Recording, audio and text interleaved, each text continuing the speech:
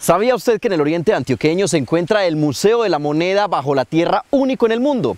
Pues los invito a conocerlo. Billetes y monedas de más de 170 países, desde la más pequeña hasta la más grande, se encuentran en un lugar fascinante y encantador, lleno de cultura, arte e historia.